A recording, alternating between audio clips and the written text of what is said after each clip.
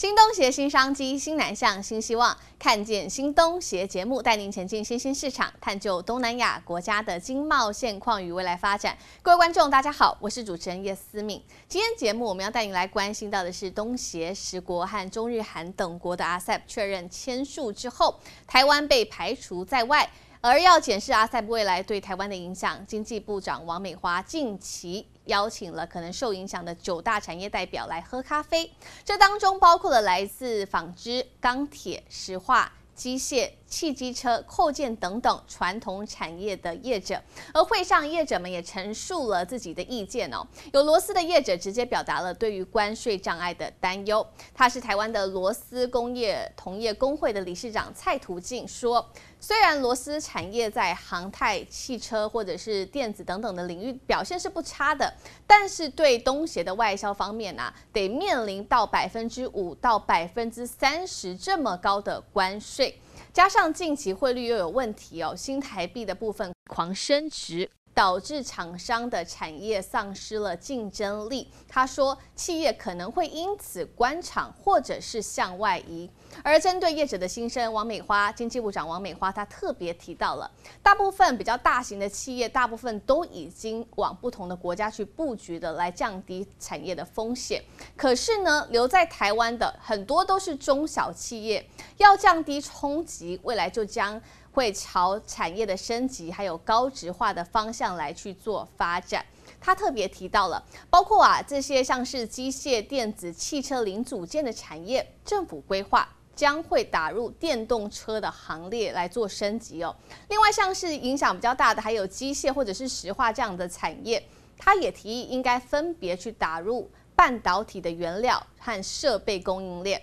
而另外一个影响到比较大的，还有先前提到的纺织业部分，则可以去发展疫后机能的纺织，结合时尚和环环保的概念来做成衣服。而另一方面呢，国发会主委龚明鑫也表示，台湾没有加入 RCEP，可是呢，可以努力的去加入 CPTPP 跨太平洋伙伴全面进步协定，或者是做一些产业的转型升级，像是让传统产业跟数位来做结合，提升厂商的竞争力。而提到数位的商机，在电商市场，当然今年一方面啊，也是因为受惠于疫情下宅经济的关系，业绩大好。而我们也实际采访了新加坡当地的前三大电商平台业者，他们告诉我们。在疫情爆发之后，业绩暴增了三成，加上现在有越来越多的台湾厂商看准新加坡和马来西亚的市场，都积极找寻他们的电商平台来做合作，上架商品。今天透过节目，我们要带你来看到 RCEP 在签署之后对全球经贸的影响，而台厂又该如何持续在国际维持产业竞争力，站稳脚步呢？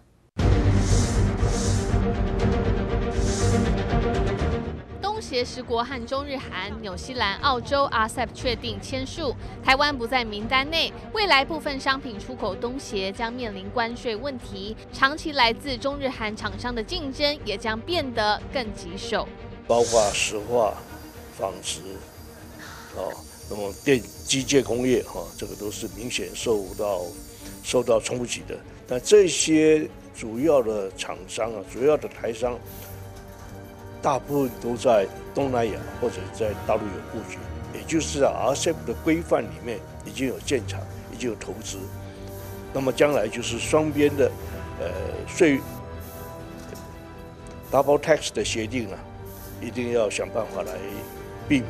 我觉得光是免税这一块，我觉得他们就占了很大的优势。跑了印尼，我很感受得到是印尼业绩，我们台湾出口到那边业绩差很多。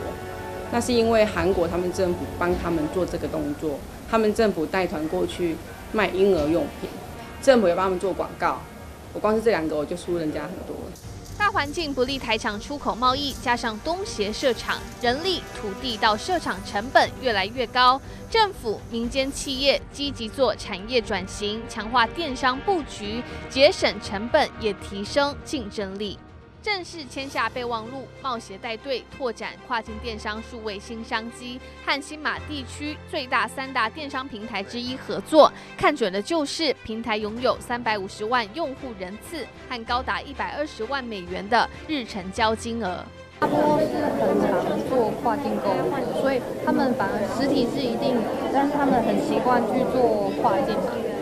新马电商业者表示，疫情爆发后，民众减少实体消费，让平台业绩逆势暴增百分之三十。加上 ASEP 确定通过，更多台厂积极寻找电商平台，拓展新贸易战场。业者形容目前业绩是史上最好。疫情的部分，哪一些品类卖的比较好呢？如果以台湾市场来说的话，呃，最基本的可能一些民生必需品，一些吃的东西，呃，甚至一些呃衣服啦。美妆的部分其实都是销售非常好的，而 MIT 的母婴商品三 C 化妆品最受新马当地华人热烈欢迎。新加坡、马来西亚都是跟我们呃消费哈，还有我们的喜好都非常的相近，所以我们认为呃在这边的华人呢，他接受度啊会很高。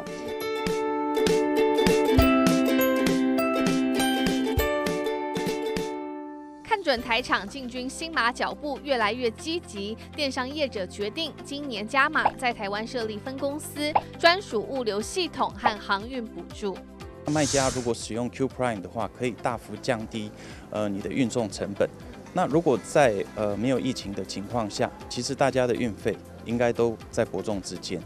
但是在疫情之下，空运费涨的时候，当我们做补贴的时候，卖家会非常的有感。运费的部分的话。呃，我们至少可以下降大概百分之四十的运费。东协电商市场商机大，统计显示，目前当地共三点六亿网络使用者，九成透过手机上网。二零一九年东协数位经济规模一千亿美元，较过去四年成长超过两倍。预估至二零二五年，东协数位经济规模达三千亿美元，占 GDP 的百分之八。不管大环境如何变动，后疫情数位商机大饼。台场紧抓把握。华语新闻简玉玲、杨格、叶思敏，台北、台中采访报道。全球关注美国政坛变天对区域经济还有维安带来的不确定性。由于过去四年川普几乎都是我行我素、商人参政的风格，不太爽以往美国的外交惯例，导致东南亚国家也是苦主之一，为各国的经济合作也都增加了风险。今天透过节目，我们要带你来剖析未来拜登成为白宫新主人之后，东南亚国家对经济层面的一些发展又有哪一些期待呢？川普四年任期即将由拜登内阁接任，东南亚、印太战场区域经济浮动与稳定只差一线之隔。Biden presidency, uh, we hope that America will. come back to a more balanced approach in uh, working with uh, multilateral institutions.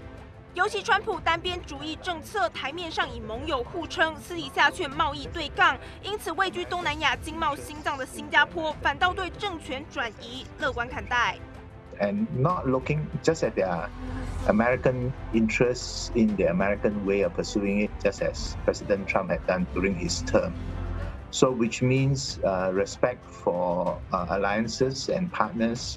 美国新政府新气象，不止新加坡、泰国也同样盼能就此摆脱过去几年川普所做的矛盾决策，促使东南亚区域利益和共识摆在优先顺位。The Ministry of Commerce has reported that the U.S. Trade Representative, or USTR, announced that Washington will eliminate some tariff benefits for Thailand saying the country has failed to allow imports of pork from U.S.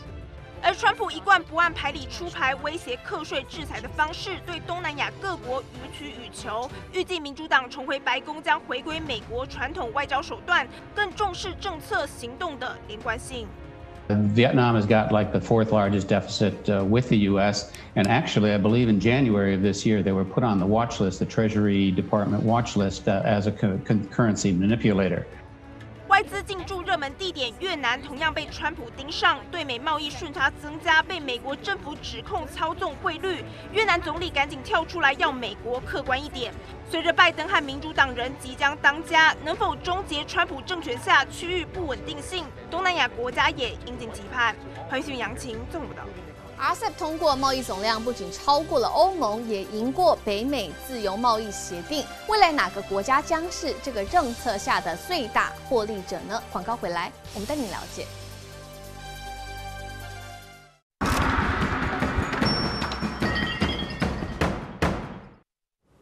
历经十年谈判，由东协发起的区域全面经济伙伴协定 RCEP，终于在越南河内十五个国家完成了签字。具体生效时间也就要看各国成员国的批准进度了。RCEP 的贸易总量不仅超过了欧盟，也赢过了北美自由贸易协定，所以是有史以来最大的一个 FTA。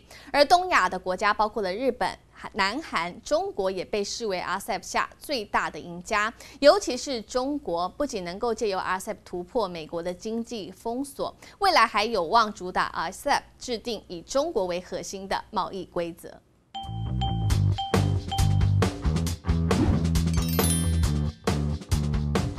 十五个亚太国家的元首、高级官员同一时间召开线上会议。就在十一月十五号，区域全面经济伙伴协定 RCEP 完成签署，堪称是人类有史以来最大的 FTA。日中韓3カ国や ASEAN 東南アジア諸国連合など15カ国が参加する東アジア地域包括的経済連携 RCEP の首脳会議がオンライン形式で開かれ各国が協定に合意し署名しました RCEP does not include the United States, but it is expected to be a game changer for the Asia Pacific region. 从东协十国到中日韩乃至大洋洲的纽澳，RCEP 几乎将整个西太平洋纳入伞下。十五个缔约国占全球近三成 GDP，并涵盖世界贸易总量的百分之二十五。这个东协国家推动的自由贸易联盟，往后将制定亚洲标准的贸易规则。就像以前的欧洲共同市场，亚洲终于朝单一贸易区迈开一大步。 RCEP이 지역을 넘어 전 세계 다자주의 회복과 자유무역 질서의 발전에 기여할 것, 것으로 확신한다고 했습니다. RCEP により日本の工業製品や農水産品のアジア圏への輸出拡大に大きく寄与するものと考えております。日本早就与多个东南亚国家签有 FTA，这次峰会的最大收获是与中国及南韩达成 FTA 共识。 因为 RCEP 最重要的精神就是缔约国家必须撤除关税壁垒，允许成员国的货物投资自由往来。 직접적으론 관세 장벽이 크게 낮아지게 됩니다. 예컨대 인도네시아에 자동차 부품을 수출할 때 최대 40%까지 내야 했던 관세가 0%로 줄어들 수 있습니다. 中日韩三国因为存在历史积怨，加上主权纷争不断，难以心平气和上谈判桌讨论贸易整合。 多年来，除了中韩勉强谈成，其他 FTA 协定全部难产。现在借由 RCEP 峰会契机，三个亦敌亦友的东亚国家总算有机会敲定 FTA。Cet accord multilatéral entre le Japon et la Chine, il y a plus de 1300 pages de clauses qui restent à discuter. Donc on a signé, on a signé en marge d'un accord, d'un sommet virtuel. Donc en fait, les, les équipes n'ont pas pu négocier. Je crois que c'est un message, mais je crois qu'il y a énormément de travail à faire encore. 所以，英国《金融时报》评价这次 RCEP 签约最大的赢家就是中日韩，尤其对中国来说，加入 RCEP 将是突破美国贸易封锁最关键的一手。 Xin trân trọng cảm ơn ngài Thủ tướng và ngài Bộ trưởng. Thank you, Excellency Mr. Premier of State Council and Excellency Minister of the Republic of China. 因为中国是整个 RCEP 经济实力最雄厚的国家，而且习近平的一带一路战略目标是重新构建全球贸易体系，RCEP 将成为一带一路重要基础，为中国制定贸易规则争夺主动权。我们将深入参与经济全球化进程，支持多边贸易体制，推动区域全面经济伙伴关系协定。而且与东南亚各国谈贸易，北京不止够分量，也不必担心受到人权或环保议题的非难。比起欧美，东南亚与中国投缘的多，利害关系比较一致。Um, China uses trade as a way to um, to outweigh various um, re regional tensions politically. Uh, and use its economic muscle to get over the, the, political strains with a lot of its neighbours over uh, the South China Sea and um, and other areas. Um, you know, the, the it doesn't include things that Beijing is less happy about talking about, such as environmental goals or anything to do with political areas such as human rights. So it's a big win for Beijing. 反观华府，整合亚太经济已落后北京一大截。当初奥巴马心心念念的跨太平洋伙伴协定 TPP，因为总统换人，整个计划付诸流水。On trade, I am going to issue our notification of intent to withdraw from the Trans Pacific Partnership, a potential disaster for our country. 前日本首相安倍晋三曾说，没有美国的 TPP 毫无意义。现在就看美国总统当选人拜登有没有意愿重返当下由日本主导的 CPTPP。要是美国急起直追，而且美中贸易战无法缓解，届时 RCEP 将与 CPTPP 火车对撞。 바이든 정부가 들어서면 미국은 그동안 탈퇴했던 포괄적이고 점진적인 환태평양 경제 동반자 협정 CPTPP에 복귀할 가능성이 큽니다. 이 과정에서 우리 정부도 CPTPP 가입을 요구받게 되면 미중 무역 갈등 속에서 곤란해지는 상황이 빚어질 수 있습니다. It is just a run-of-the-mill tariff cutting exercise, not an attempt to advance the rules of global trade. For example, RCEP doesn't do anything to try to improve labor laws or environmental standards, and it doesn't open up markets controlled by government-owned monopolies or strengthen copyright laws. 当前 RCEP 的前景，缔约国家一头热，外界却态度保留。没有人能预见 RCEP 最后走向何方，但有一点可以确定：被排除在 RCEP 之外的美国、欧洲不会甘愿继续做局外人，而是想尽办法积极涉入亚太事务。欢迎新闻吴宪昌报道。好，RCEP 才刚正式签字，紧接着又传出北京当局打算要去申请日本主导的 CPTPP，这个难题丢给了日本。这里邀请国际中心的记者徐立珊来为我们分析这场经济协议的角力发展。好，思敏，中国喊加一真的是让日本很为难，怕不让进会直接跟北京当局杠上。允许中国加入，又担心跟美国政府撕破脸。其实中国此举就是想填补美国缺席的权力真空，强化区域一哥的形象。不过分析认为，中国短时间要进入 CPTPP 其实有难度。怎么说呢？因为在很多方面都得大刀阔斧的改革，像是对国企补助要透明化，禁止强迫技术转让，以及要保护智慧财产权，跟提高劳动环境标准。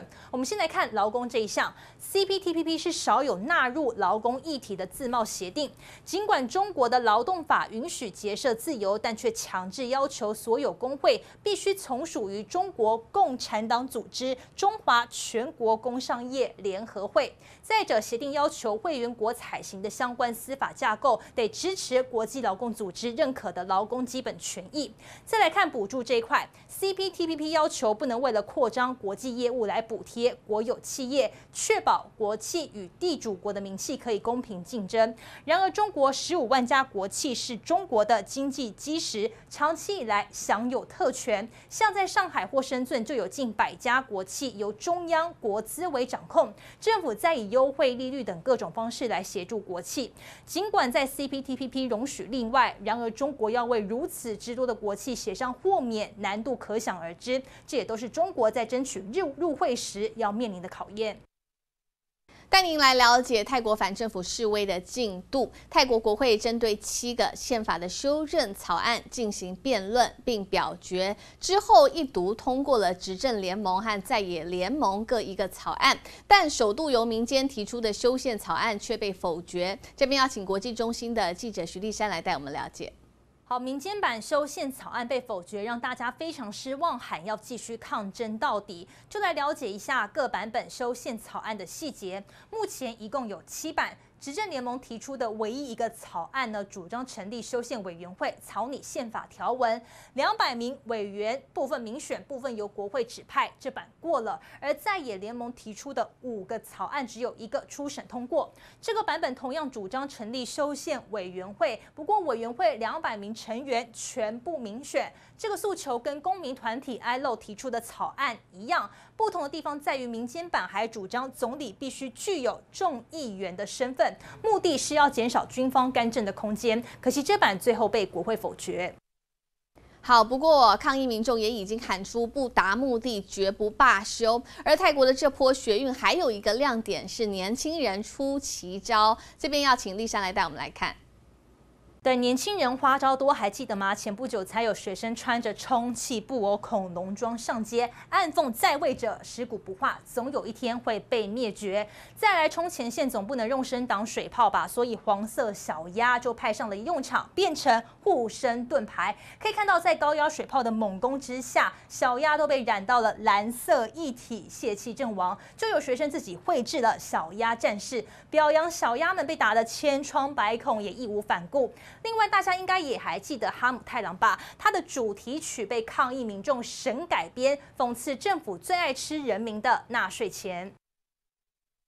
好，泰国反政府示威已经持续好几个月了。地位一向坚不可摧的王室，这次更成为了风暴的核心。泰王瓦吉拉隆功长期远端治国，因此引起了民怨，质疑他上任之后花了大把的时间在德国挥霍享乐，凭什么一个人就可以接收皇室财产局的长期帮王室保管金额超过四百亿美元的庞大资产？